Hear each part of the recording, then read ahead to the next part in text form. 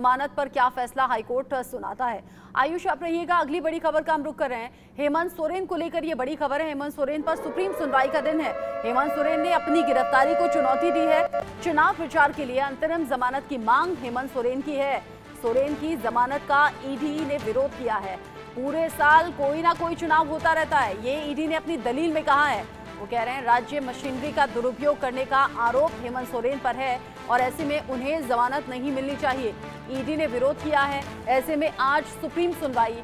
हेमंत सोरेन की याचिका को लेकर जिसमें अंतरिम जमानत की मांग की गई है, होना है।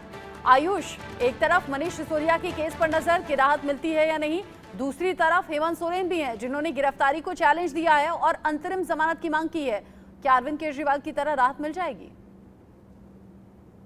जी देखिए, अब जहाँ तक बात की जाए, हेमंत सोरेन की सुप्रीम सुनवाई जो आज होनी है और उनको राहत मिलेगी या नहीं, अब इस चीज़ को जोड़कर देखा जा रहा है अरविंद केजरीवाल से कि अरविंद केजरीवाल को भी इस आधार पर बेल दी गई थी कि उनके मामले में सुनवाई में देरी हो रही है तो उनको अंतरिम जमानत दे दी जाए चुनाव प्रचार के लिए भी। अब यहाँ पर हेमंत सोरेन ने भी यही आधार बनाया। उन्होंने कहा है कि उनको चुनाव प्रचार के लिए अंतरिम जमानत चाहिए। लेकिन यहाँ पर देखने वाली बात यह है कि आखिर अरविंद केजरीवाल के केस में और हेमंत सोरेन के केस में अंतर क्या है?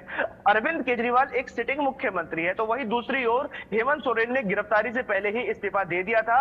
वो अपनी राज्य की सारी जिम्मेदारियों से मुक्त हो चुके थे। तो वही दूसरी ओर अरविंद केजरीवाल पर दिल्ली यानी देश की राजधानी जैसे राज्य की ज़िम्मेदारी बनी हुई थी। तो वही दूसरी ओर अरविंद केजरीवाल को अलग धाराओं में गिरफ़्तार किया गया था। अरविंद केजरीवाल को एकाएक नौ समन भेजने के बाद जब गिरफ़्तार किया गया, उसके बाद जब सबूत अदालत ने मांगे तो फ़िलहाल ईडी की तरफ़ से बात सुप्रीम कोर्ट में कही गई थी कि वो सबूत सुप्रीम कोर्ट के सामने पेश नहीं किए जाएँगे। वो जाँच अधिकारी जो है वो निचली अदालत में पेश करेंगे। तो वही हेमंत सोरेन के खिलाफ जो सबूत कोर्ट में पेश किए जा चुके हैं। हेमंत सोरेन के खिलाफ ये बात कही जा चुकी है कि उन्होंने कई एकड़ ज़मीन जो है वो ली है कई तरीके से उन्होंने फेवर्स दिए हैं कई तरीके से स्टेट मशीनरी का दुरुपयोग किया है। तो ये जो दोनों मामले हैं ये अलग है। इन दोनों में कई सारे ऐसी चीज़ें हैं जो मामले अलग है इसीलिए तो, फैसला भी अलग हो सकता है। नजरे आप बनाए रखिएगा आयुष बहुत शुक्रिया आपका। ये सभी अपडेट्स हमारे दर्शकों तक पहुँचाने के लिए।